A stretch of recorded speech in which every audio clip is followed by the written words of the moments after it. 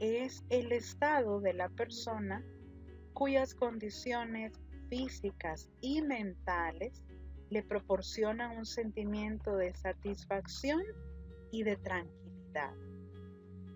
Yo le he puesto ahí algunas imágenes y al menos a mí me produce satisfacción o me da una sensación de tranquilidad, por ejemplo, ver algún paisaje, ir al mar, compartir un tiempo al aire libre con mi familia, con mis amigos. Eso es muy importante. Y muchas veces el bienestar no, no necesita de cosas materiales o no necesita un recurso económico para conseguirlo. Si usted está, por ejemplo, conversando con una amiga, con un amigo que es muy querido, usted puede tener una sensación de tranquilidad, de satisfacción. El conversar, por ejemplo, también con nuestra familia, si es más apegado a su mamá o a su papá, a algún tío, a su abuelito, etc. Eso produce una sensación de tranquilidad. O simplemente quedarme un momento a solas, meditando en las cosas que quiero hacer, en las cosas que quiero lograr eso me puede traer bienestar. Lo más importante es que busquemos siempre estar tranquilos y sentirnos satisfechos con las cosas que hacemos y por supuesto siempre pensar en el futuro, qué cosas quiero lograr que van a ser buenas para mí y que me van a traer esta palabra que es pequeñita, pero que realmente tiene un gran significado. Entonces procuremos siempre obtener bienestar, no solamente físico, sino que quizás el más importante, un bienestar mental. Eso es de vital importancia un bienestar mental me va a producir paz interior y eso me va a ser de mucha ayuda para lograr todos los objetivos que yo me proponga. Así que este lunes tratemos de procurar el bienestar en todo lo que hagamos. Y recuerde que lo más importante es un bienestar mental llegamos al género literario quizás de preferencia para muchos, porque la poesía me permite expresar mis sentimientos. Yo puedo expresarme a través de la palabra escrita en un poema, si estoy feliz, si estoy emocionada, si estoy triste, si estoy deprimida, si estoy esperanzada, si estoy angustiada y muchos otros estados de ánimo que no he mencionado pueden plasmarse a través de un poema. Es una manera muy creativa de dar a conocer mi interior. El yo interior se expresa muy bien con la poesía. Y yo sé que entre ustedes hay mucho talento en este aspecto, así que aprovecho para recordarles el concurso de poesía que todavía están a tiempo de enviar sus creaciones. En el Twitter yo les he compartido las bases del concurso y si no, a través de los tutores pueden obtenerlas. Vean que es una excelente oportunidad para dar a conocer el talento creativo que tienen y puede obtener el primer lugar que va a tener un premio de mucha utilidad. Desde 1980 se ha publicado una gran cantidad de poesía. Aunque la lírica era un género minoritario, en las últimas décadas ha pasado a ser un género muy popular. Se lee mucha poesía, más que en épocas anteriores, y esto ha dado pie a que en la actualidad tengamos muchas antologías poéticas de autores clásicos, de autores de periodos o movimientos literarios anteriores. Además, existe una gran variedad de tendencias. Al igual que en la novela o en el teatro, como ya lo hemos visto, es muy difícil agrupar la poesía de forma homogénea, ya que existen muchas temáticas y muchos matices dentro de ellas. Además, los poetas, eh, con el pasar del tiempo, digamos que han evolucionado, además por las situaciones sociales e incluso mundiales que se viven, los autores experimentan y cambian frecuentemente. Y esto provoca que con el tiempo ensayen o prueben con distintas fórmulas poéticas. Es decir, que ni siquiera a los autores podemos encasillarlos en, algún, en alguna temática específica porque constantemente ellos están cambiando o están variando sus formas. En general, podríamos decir que la poesía española eh, la, la vamos a agrupar en tres formas, en tres ámbitos.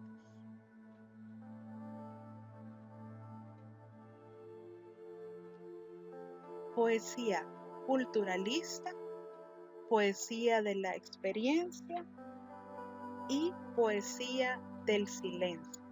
Esos son los tres grandes grupos, digamos, en los que podríamos, y recalco y subrayo, podríamos agrupar la poesía que actualmente nosotros podemos leer y la poesía que actualmente los autores están escribiendo. Veamos en qué consiste cada una.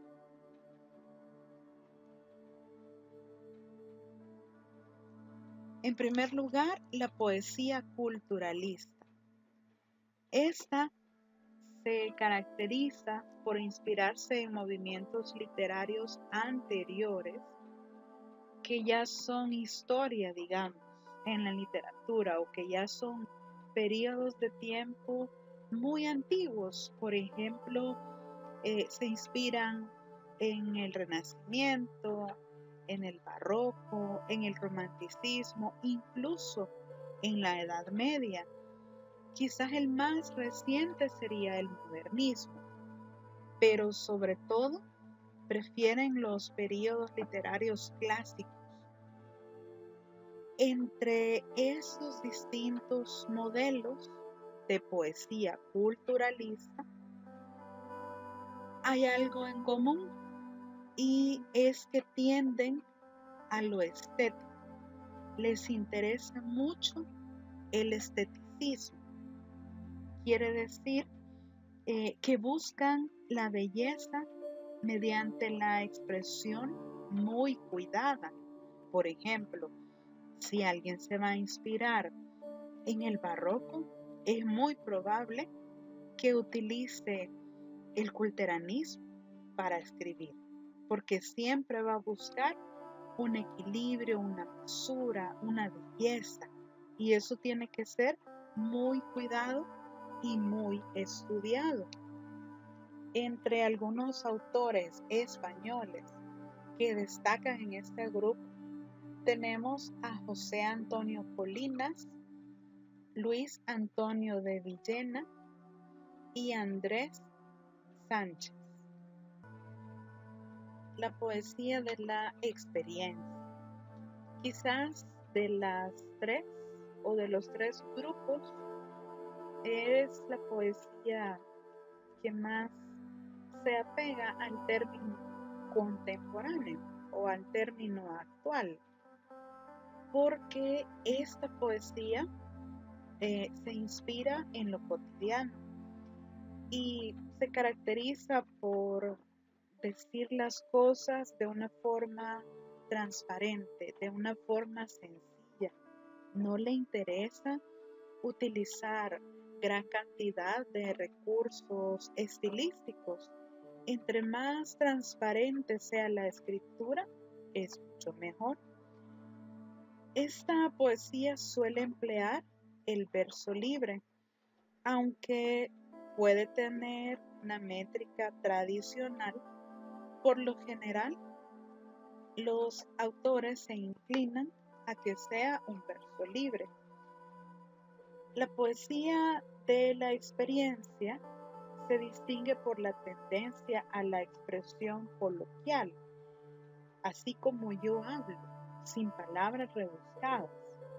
Esa es la forma de escribir poesía de la experiencia y me va a hablar de qué cosas, de lo cotidiano, del día a día, de cómo yo me siento, de las cosas que puedo ver al salir a la calle, por ejemplo, de la convivencia que tengo con amigos, con familia, de tantas cosas. Cualquier tema de la vida diaria, del día a día, puede ser algo en que se inspire la poesía de la experiencia.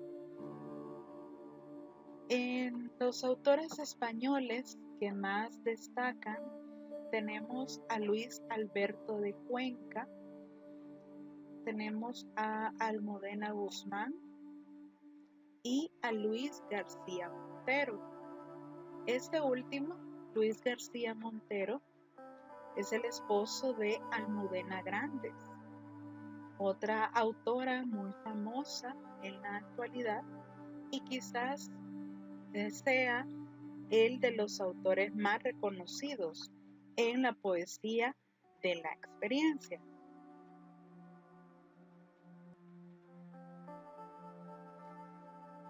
Y en tercer lugar tenemos la poesía del silencio, que me atrevería a decir que es la más difícil de las tres.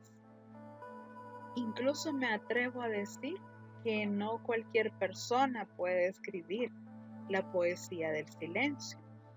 Porque vaya, en la poesía culturalista, si yo ya conozco cómo era la poesía en el Renacimiento, en el Barroco, en la Edad Media, simplemente la voy a adaptar o la voy a replicar.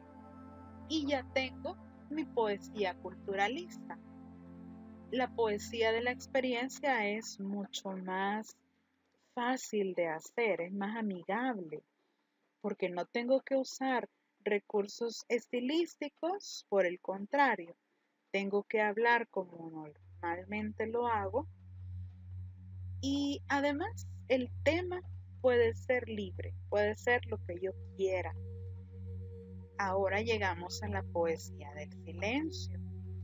Esta poesía se distingue sobre todo por ser muy intelectual se caracteriza por la búsqueda de una expresión muy sobria, muy condensada.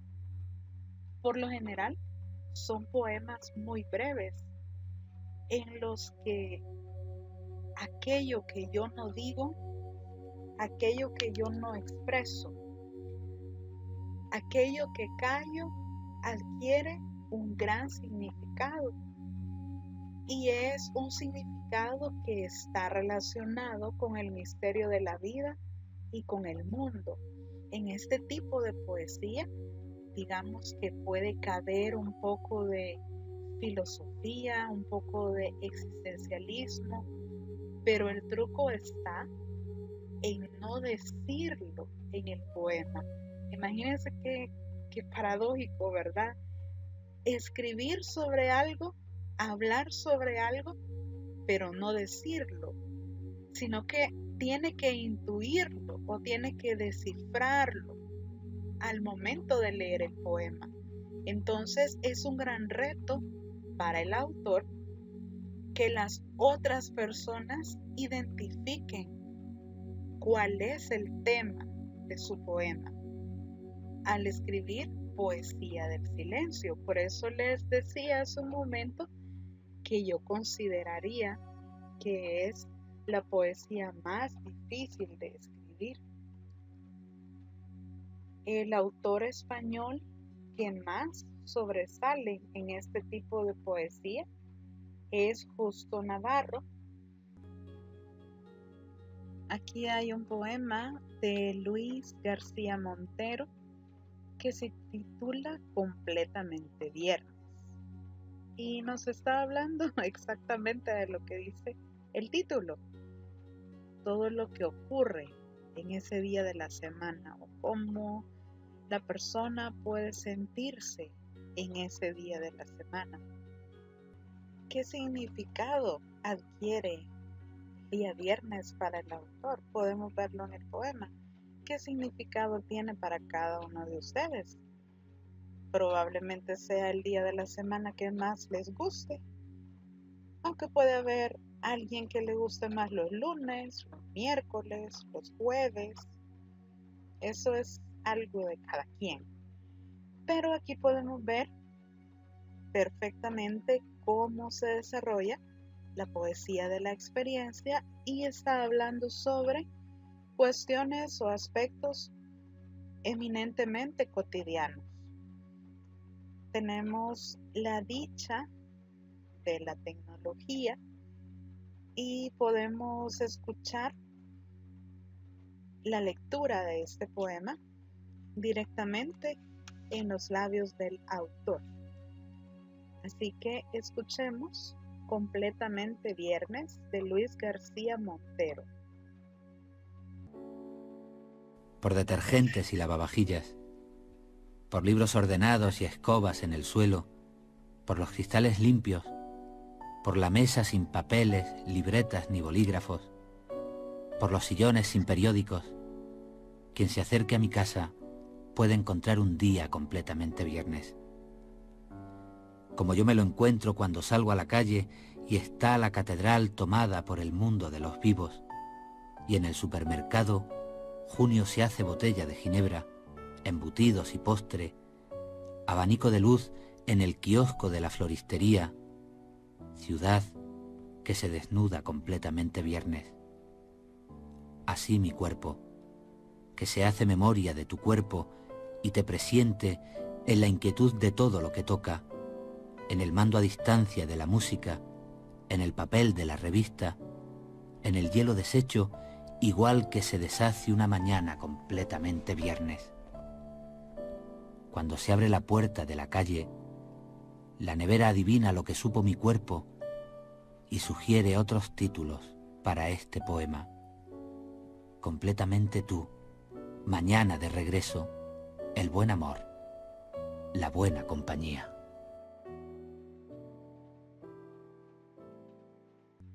Y tenemos otro ejemplo de poesía de la experiencia este se titula El desayuno de Luis Alberto de Cuenca. De igual forma, lo escucharemos de la voz del autor.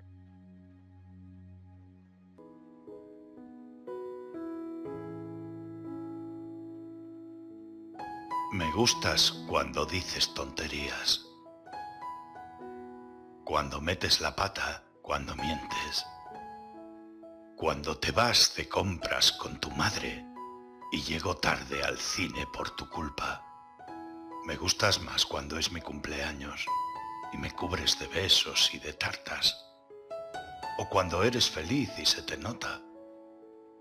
O cuando eres genial con una frase que lo resume todo. O cuando ríes. Tu risa es una ducha en el infierno. O cuando me perdonas un olvido. Pero aún me gustas más. Tanto que casi no puedo resistir lo que me gustas cuando llena de vida te despiertas y lo primero que haces es decirme, tengo un hambre feroz esta mañana, voy a empezar contigo el desayuno.